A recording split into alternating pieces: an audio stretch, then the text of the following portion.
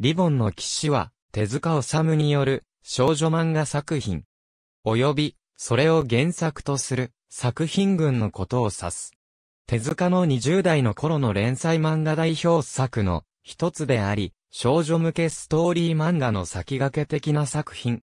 天使、チンクのいたずらで誕生した男の心と女の心を持つサファイア王女をヒロイン犬ヒーローに据えたファンタジー作品。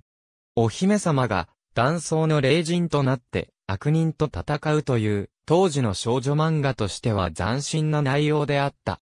手塚自身が幼少の頃から親しんだ宝塚歌劇団の影響を強く受けており、サファイアのモデルは元宝塚歌劇団娘役の淡島千景である。当時、淡島の大ファンだった手塚が、娘役である淡島がたまたま男役を演じた舞台を感激して、それをヒントにサファイアを考え出したという。なお、テレビアニメで、サファイアの声を担当した、大田敏子も宝塚歌劇団出身の元宝ジェンヌである。本作を元にしたミュージカル公演が数回行われている。ただし、宝塚歌劇団に演目として取り上げられたことはない。少女漫画としては一般に記憶される初の戦う少女であり、今で言うところの変身、コスプレ、ツンデレなどの萌え要素を先駆け的に含んでいた。もっとも、西洋物の仮面をつけた少女剣士の漫画は、松本勝治ののクローバーが20年ほど前に存在している。手塚自身による漫画には、少女クラブに連載された、リボンの騎士、仲良しに連載した少女クラブ版の続編の、リボンの騎士、さらに、仲良しに連載した少女クラブ版の、リメイク作品としての、リボンの騎士、最後に、少女フレンドに連載された、リボンの騎士の、計4回の連載がある。掲載誌はいずれも講談社である。双子の騎士では、結婚したサファイアとフランツの間に生まれた男女の双子、デイジー王子とビオレッタ姫が主人公。ダリア公爵夫妻の陰謀で、兄のデイジーが森に捨てられてしまい、妹のビオレッタが王子と姫の二役を務め、二代目、リボンの騎士に変身して悪党に立ち向かう。詳しくは、当該記事を参照。仲良し版は最初は少女クラブ版を踏襲していたが、海賊、ブラッドや女神、ヴィーナスなど登場人物が増えて物語の後半の展開は複雑になっている。少女フレンド版は SF 仕立てで25世紀に生きる発明家のフランツが主人公。先祖のサファイアにタイムマシンで会いに行き、恋が芽生えるという内容であった。手塚はあまり乗り気でなくて原案のみで、作画は、当時虫プロに所属していた、北野秀明が担当した。少女フレンド版はこれまで、単行本化や、再収録は一度もされていない。担当声優は、テレビアニメ版、京都手塚治虫ワールド上映のオリジナルアニメ版の、順に表記。テレビアニメ版のカッコ書きは、パイロットフィルムのキャスト。一つしか記載がない場合は、テレビアニメ版でのキャスト。完全に網羅できていないと思われる。発行年も調査して補う必要あり。以下は完全な網羅ではないだろう。なお、単行本等は収録された時期により、連載時のものとの内容の相違の程度に違いがある。これまで雑誌等への再掲載や単行本に収録されたことはない。いわゆる封印状態の作品である。ラジオ東京で連続ドラマ、リボンの騎士が1955年の4月4日から9月27日まで放送された。月金曜の17時15分から17時30分までの15分放送で全114回。大泉アニメゲートに設置されている練馬アニメ年表の1コマ。TV アニメ作品は虫プロダクションの制作でフジテレビ系で1967年4月2日から1968年4月7日にかけて放送された。本作品は日本のテレビアニメ史上で少女が主人公である第2番目の作品である。TV アニメ化にあたってストーリーが大幅に変更されており、続きものの原作とは異なりおおむね一話完結となっている。原作や双子の騎士に登場、もしくはちなんだキャラクターが登場することもある。ストーリー後半では、クールランド国の雪の女王率いる軍隊との戦いや、侵略者 X が率いる X 帝国連合軍との戦いが中心となっていき、原作漫画とは大きく異なる展開となっている。また、TV アニメでは、サファイアとフランツ王子、天使チンクの年齢は、原作よりも低めに設定されている。テレビアニメーションの放送に先駆けて1966年11月に、パイロット版が、虫プロダクションで制作されたが、こちらは、後のテレビ本放送版よりも、原作漫画に近いストーリー展開で、声優もテレビ版とは異なっていた一本だけが、作られて放送された。日本テレビ系列で放送された、鉄腕アトムの第27話、ブラックジャックの大作戦として、リボンの騎士をオマージュしたエピソードが作られた。また、TV アニメの放送から30年以上が過ぎた1999年に、約8分のショートムービーが制作され、京都手塚治虫ワールドで1999年12月4日に、弁慶と牛若丸と同時に上映公開された。その後、2008年の手塚治虫生誕80周年に向けて、劇場用アニメーション作品として作る企画が立てられ、短いパイロットフィルムが作られたが、その企画は実現はしていない。2013年には、ピーピングライフと手塚プロタツノコプロのコラボレーションアニメ、ピーピングライフ、手塚プロタツノコプロワンダーランドが放送された。また、2009年から2020年までは、カートゥーンネットワークでデジタルリマスター HD 版が繰り返し、再放送された。また、地上波では、岐阜県の岐阜放送で、2011年10月28日から2012年12月21日まで、金曜夜6時に放送された。2019年12月17日から2020年4月7日まで、YouTube の手塚プロダクション公式チャンネルより、期間限定無料配信が行われていた。2021年4月19日より、YouTube のアニメログより、期間限定無料配信が行われている。最初は一社提供番組であったが、視聴率が予定していた20%台に達しないことを理由として、単独スポンサーであったサンスター歯磨きは降板した。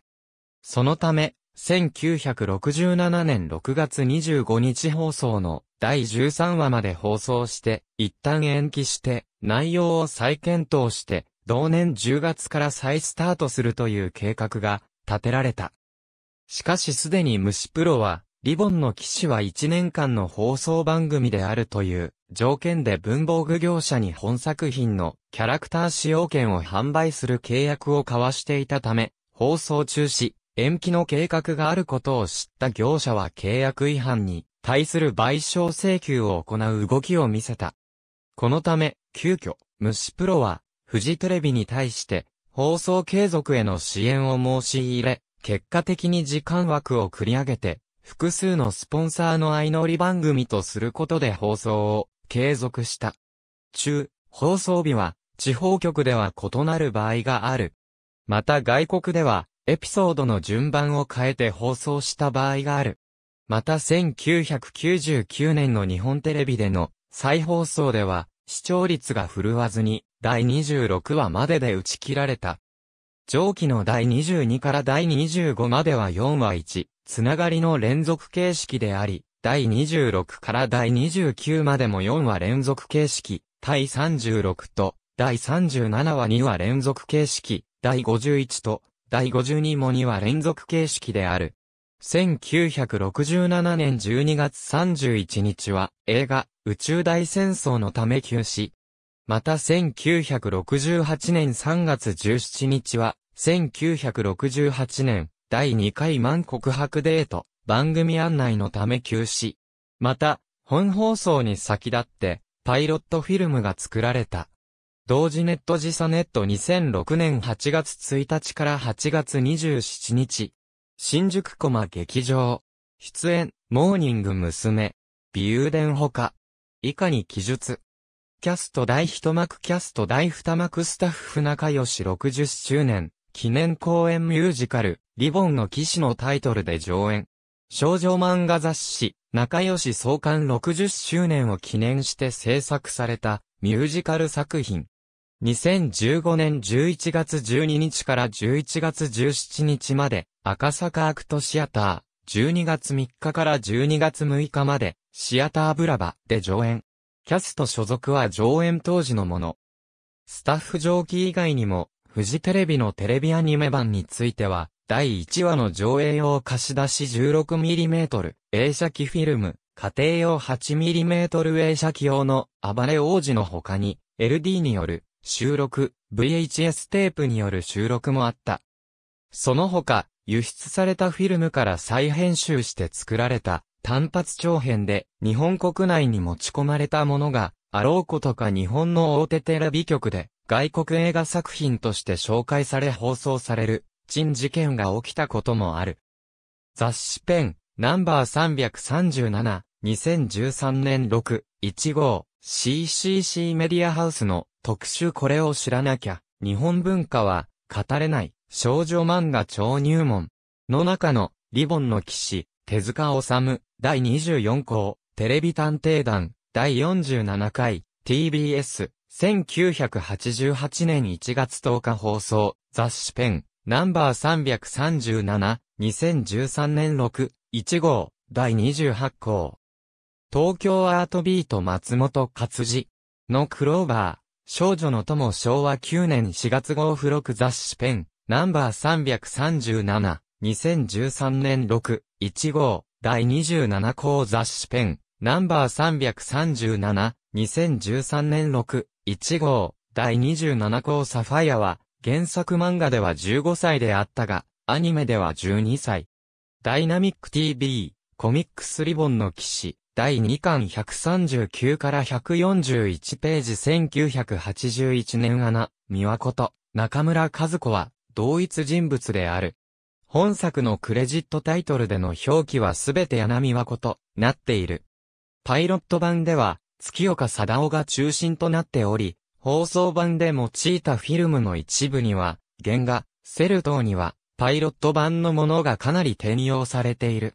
王子編版は、アニメ 60S などに、王女編版は、懐かしのアニメソング大全1などに収録。また、21世紀に残したい、アニメソング大全ミレニアムボックスには、インスト版、王子編版、王女編版の3種類が収録されている。テレビ漫画主題歌の歩み、手塚治虫アニメーションワールド、ベストソングコレクション、前川陽子スーパーベスト、キューティーハニー、ひょっこりひょうたん島などに収録。毎日新聞縮刷版毎日新聞社、1967年12月31日。ラジオテレビ欄、毎日新聞縮刷版毎日新聞社、1968年3月17日。ラジオテレビ欄、北日本新聞1967年10月1日付長官テレビ欄より、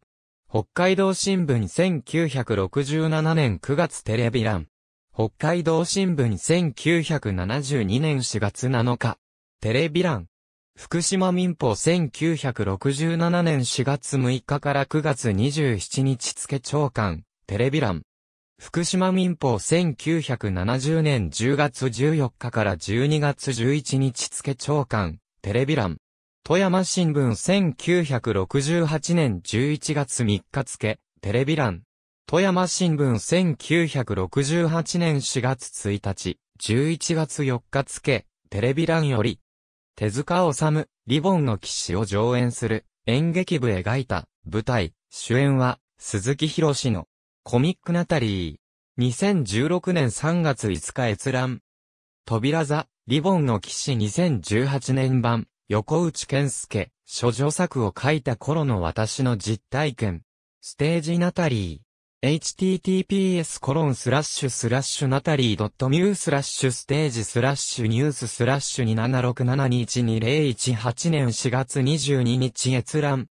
AB、ミュージカル、リボンの騎士主演は、生田絵里花、上永圭介や青木玄徳も出演。コミックナタリー、ナターシャ、2015年8月25日閲覧。仲良し60周年記念公演ミュージカル、リボンの騎士。ミュージカル、リボンの騎士制作委員会2015、ネルケプラニング。2016年7月8日閲覧。ありがとうございます。